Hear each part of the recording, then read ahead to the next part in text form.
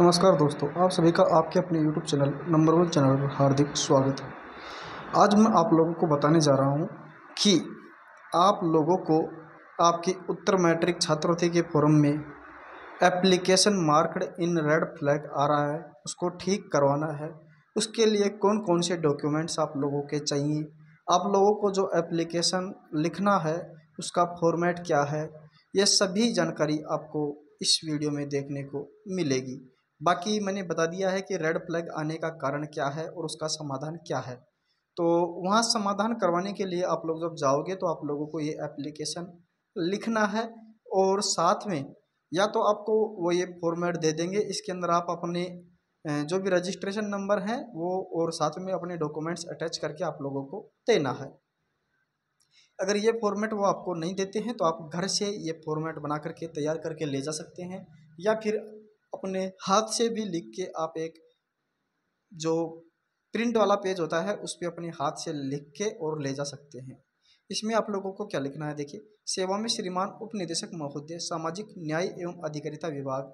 अब जैसे कि ये जयपुर ग्रामीण से है, कोई कैंडिडेट जिसको मैंने भेजा था कि उसके application marked in red flag आ रहा था तो उसको मैंने जयपुर ग्रामीण में भेजा था। तो उसने ये मेरे पास में भेजा है कि कैसे कैसे क्या क्या डॉक्यूमेंट्स वहाँ पर लगते हैं क्या क्या होता है। सारी बातें मेरे उस भाई से हुई थी, बाकी मैंने मेरे अंकल जी से भी बात कर ली थी तो उन्होंने बता दिया था। तो इसमें दे रखा है, विषय है उत्तर मैट्रिक छात्रवृत्ति के वर्ष दो हज़ार बाईस तेईस, आवेदन पत्र में आ रहे application marked in red flag को ठीक ठीक करवाने के लिए, ठीक करवाने बाबत। महोदय उपरियांतर्गत निवेदन है कि मेरे वर्ष 2022-23 के उत्तर मैट्रिक छात्रवृत्ति के आवेदन में application marked in red flag का आक्षेप आ रहा है।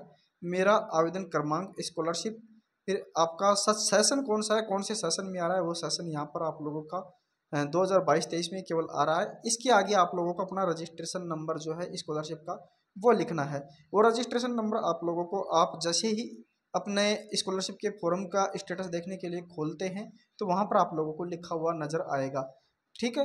वहाँ पर आप लोगों को जो रजिस्ट्रेशन नंबर ऐसा मिलेगा स्कॉलरशिप स्लैश दो हज़ार बाईस स्लैश तेईस स्लैश फिर जो नंबर है, वो नंबर आप लोगों को यहाँ पर दर्ज करना है।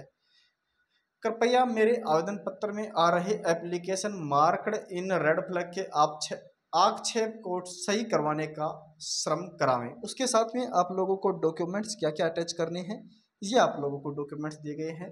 मूल निवास प्रमाण पत्र आप लोगों को देना है। जाति प्रमाण पत्र आप लोगों की लगने वाली है। आधार कार्ड, जन आधार कार्ड आप लोगों का लगने वाला है। बैंक की पासबुक की फोटोकॉपी लगने वाली है।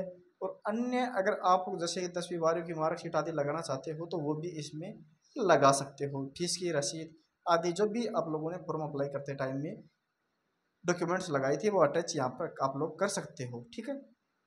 तो ये जो चार डॉक्यूमेंट्स हैं, पाँच डॉक्यूमेंट्स ये आप लोगों को अनिवार्य करने हैं। ये तीन नंबर पे जो है, आधार कार्ड और बामसा कार्ड, इसको मैंने दो डॉक्यूमेंट्स मान लिए हैं। तो इस प्रकार से टोटल आप लोगों के पाँच डॉक्यूमेंट्स आप लोगों को लगाने हैं, ठीक है? और नीचे आप लोगों को यहाँ पर बहुदिया लिखा हुआ आएगा। यहाँ पर अपने साइन करनी है, फिर अपना जो पूरा एड्रेस है मोबाइल नंबर स्थायी पता, वो आप लोगों को लिख करके, इसके साथ में जो डॉक्यूमेंट्स मैंने बताए, वो अटैच करके आप लोगों को फिर अपने जो सामाजिक न्याय एवं अधिकारिता विभाग है अपने डिस्ट्रिक्ट की। उसके अंदर आप लोगों को इसे जमा करवा देना है। विद इन टेन डेज़ के अंदर अंदर आप लोगों का जो application marked in red flag है, वो हट जाएगा। थैंक यू धन्यवाद। मिलते हैं किसी नेक्स्ट वीडियो में। अगर कोई भी समस्या हो तो आप लोग मुझे इंस्टाग्राम या कमेंट में आप लोग मुझसे बात कर सकते हैं।